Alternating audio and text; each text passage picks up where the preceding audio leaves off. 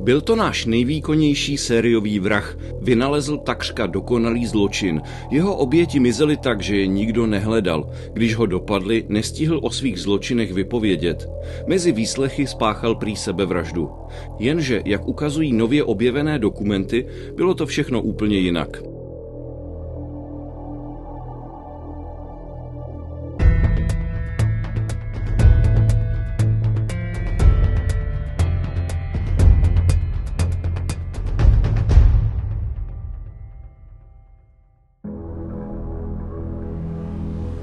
Případ Huberta Pilčíka je, pokud se to dá tak říci, jedním z nejneobjasněnějších v naší historii. Zaměstnanec plzeňské Škodovky, bylinkář a oblíbený obyvatel z Ruče Sence u Plzně svým obětem namluvil, že je převaděč, který jim zajistí bezpečnou cestu za vznikající železnou oponu. Lombrozova teorie přirozeného zločince už dávno padla. To znamená, že člověk, který příšerně vypadá, neznamená, že je vrah. A je pravda taky to, že 99% těch lidí, kteří se dopustí těch nejzávažnějších trestných činů, což je vražda, tak byste to do nich nikdy neřekli. Nikdo to neřekl ani do Pilčíka a tak mu jeho oběti věřili, že je převede přes hranice na západ a nebylo jim divné, že se převést každého zvlášť. V lese potom došlo na obušek, kterým převáděné ze zadu omráčil a usmrtil. Hubert Pilčík, muž s dunivým hlasem, jak mu říkali v obci, tak byl velmi oblíbený. On na, na první pohled pomáhal, on byl skutečně bylinkář, on vyrážel do okolí e, města a do lesů, on velmi rád jezdil na kole, právě pobýval v lesích, sbíral bylinky, vařil čaje všem možným známým a, starousedlíkům. No a je o něm známo, že v restauraci za pivo vyprávěl příběhy ze svého pohnutého života. On dával k dobru, že přežil zkázu Titaniku. Je pravda, že vzhledem k jeho věku by to možné bylo. My dneska víme, protože ty seznamy jsou k dispozici, že žádný Hubert Pilčík a někdo podobný na Titaniku rozhodně nebyl mezi přeživšími.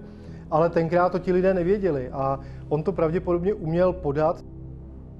Jeho pobyt v Americe by vysvětloval dlouhou mezeru v dokumentech o něm. Nevíme například nic o tom, co dělal za první světové války. Po té druhé si tedy otevřel převaděčský podnik. Než ve vězení zemřel, stihli mu vyšetřovatelé prokázat pět vražd. Jak zjistil spisovatel Emil Hruška, nejméně jednoho člověka skutečně převedl. Asi nebyl dost bohatý na to, aby Pilčíkovi stálo za toho zavraždit a zmocnit se jeho majetku. Když se na něj podíváte, tak to byl takový celkem dobrosrdečný stařík od pohledu, od kterého byste rozhodně nečekal, že je e, sériový vrah, který má pravděpodobně desítky obětí. Když Pilčík pouhé dva dny po svém zatčení v noci z 8. na 9. září 1951 ve vězení v Plzni na Borech zemřel, byl z toho obrovský průšvih. Vznikla proto 40-stránková vyšetřovací zpráva, ve které se pracovníci vězení pokoušejí vyvinit. Pilčík podle ní spáchal sebevraždu, když mu prý špatně informovaná noční služba ponechala na celé oblečení a když omylem dostal dva sežehlené kapesníky na místo jednoho. Pilčík si měl v nestřeženém okamžiku kapesníky uvázat kolem krku a v leže se zardousit. Strážní připouštějí, že Pilčíkovi při nočním přesunu z cely na celu nadávali. Vyšetřovaný je ale prý stejně neslyšel, protože po brutálním výslechu krvácel z ucha. S objasněním téměř dokonalého zločinu tak mohla pomoci už jen Pilčíkova manželka a 13-letá neteř jedné ze zavražděných, kterou držel v zajetí a kterou zneužíval. On svoje oběti, které zabil, tak v podstatě nutil, respektive dívku, kterou zneužíval, tak nutil psát pohledy svým příbuzným, že je venku a že je v Bavorsku a že jí tam dobře a podobně. Takže on to měl docela dobře promyšlené, ale zcela evidentně dokonalý zločin tedy nespáchal, když byl zadržen.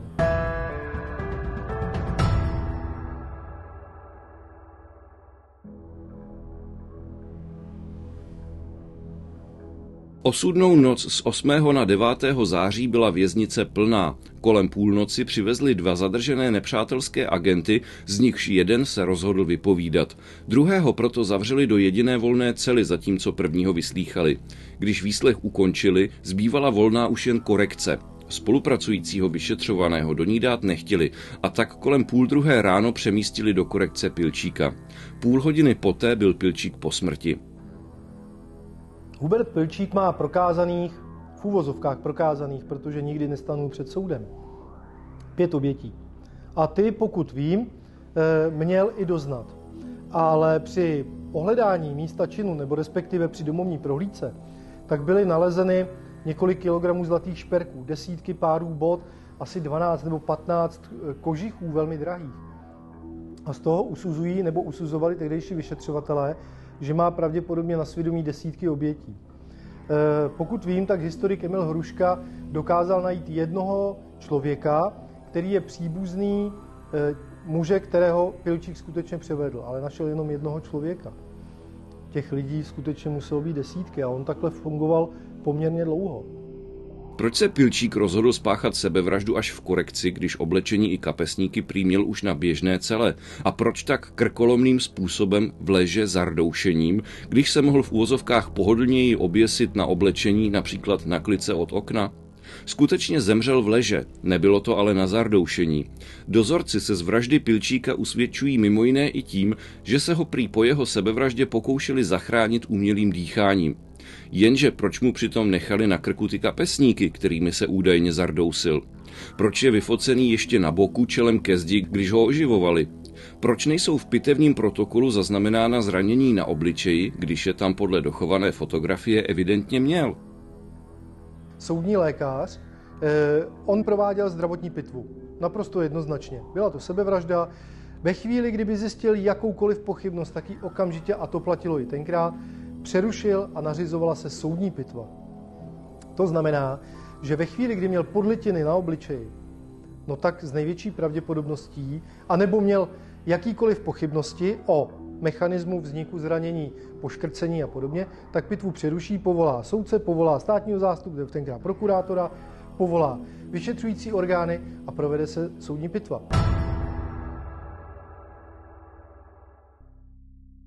Pitevní protokol obsahuje hrubé rozpory. Na jednom místě uvádí jako příčinu smrti oběšení, jinde zardoušení. Tyto dva způsoby násilné smrti se rozlišovaly od jak živa. A jak jsem se dozvěděl od soudního lékaře, takto aplikované kapesníky Pilčíka usmrtit nemohli. Jak už víme, při pochybnostech o sebevraždě měl soudní lékař zdravotní pitvu přerušit a provést daleko podrobnější pitvu soudní. To se nestalo protože on ty pochybnosti neměl. No ale otázka je, proč je neměl. Já jsem přesvědčen o tom, že je neměl proto, že mu někdo vysvětlil, že je dobrý, aby je neměl. Co se tedy odehrálo v onu noc ze soboty na neděli? Výpovědi zúčastněných dozorců potvrzují, že přestože měli na oddělení službu 3, Pilčíkova přesunu na korekci se zúčastnilo dozorčích 6. Prý ho nebyli, ale nadávali mu. Nadávky a křik totiž nešlo na chodbě s celami plnými jiných vyšetřovaných dost dobře zatlouct.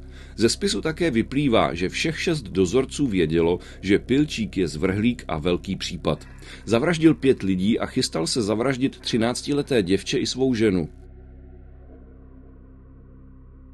Hubert Pilčík plánoval dvě vraždy, eh, a to dívky, kterou držel vlastně a zneužíval, a svojí manželky. Alespoň to tvrdil. To, jestli plánoval vraždu manželky, to se můžeme dneska dohadovat, protože to mohl být jeho v podstatě manévr k tomu, aby ji vyvinil ze všeho. Protože pokud páchal takovouhle trestnou činnost v dlouhým časovým období, tak mně přijde poněkud e, přitažené za vlasy, že by ta manželka nic netušila a nic nevěděla. To je, to je velmi složitý a nepřijde mi to jako pravděpodobné. Ale on mohl mít snahu skutečně jí z toho dostat ven Pilčík umírá v temnici kolem druhé hodiny ráno, půl hodiny poté, co mu vynadalo šest dozorců, z nichž někteří neměli na oddělení co dělat. Nabízí se vysvětlení, že dozorci při převádění Pilčíka jednoduše linčovali a když poté zjistili, že to s tím násilím přehnali, uvázali mu kolem krku kapesníky. Část viny se potom pokusili hodit na vyšetřovatele, kteří ho prý při výslechu zmlátili tak, že ani neslyšel, když mu nadávali. Jenže poslední výslech byl v pátek večer. Pilčík zemřel v noci ze soboty na neděli. Že by se zranění utržená při výslechu naplno projevila až o víc než 24 hodin později, není moc pravděpodobné. Za smrt Pilčíka tak nemůže Pilčík a podle všeho ani vyšetřovatelé, ale dozorčí, kteří utloukli k smrti pravděpodobně nejvýkonnějšího sériového vraha naší historie. No pokud použijeme tenhle výraz, tak rozhodně, protože pokud vím, tak z kriminálních pohnutek v dějinách československé kriminalistiky není vrah, který by měl vyšší počet obětí, předpokládaných obětí, než má Hubert Pilčík. Takový tady nikdo není. Jsou tady Stodolovi, dobře, ty mají tuším sedm, že jo? Je tady Ivan Roubal, je tady eh, Černý, eh, je tady Mrázek, ale ty jsou všichni od pěti do sedmi, je tady Hojer, jo? od pěti do sedmi prokázaných vražd. Ano, Hubert Pilčík měl pět prokázaných vražd, ale ten předpoklad, který myslím vůbec není falešný, tak může hovořit o desítkách obětí. Pilčík neměl děti. Jeho žena se po propuštění z vězení za nadržování vrátila nejprve do rodné žirovnice a její stopa končí v táboře. Utlučené bestie, která by jinak skončila na šibenici, nikomu líto nebude. Ale kvůli brutalitě dozorců už nikdy nezjistíme, kolik obětí přesně má na svědomí. Leží zahrabaní někde v lese a jejich příbuzní se nikdy nedozvěděli, že jejich blízcí se života na svobodě nedočkali.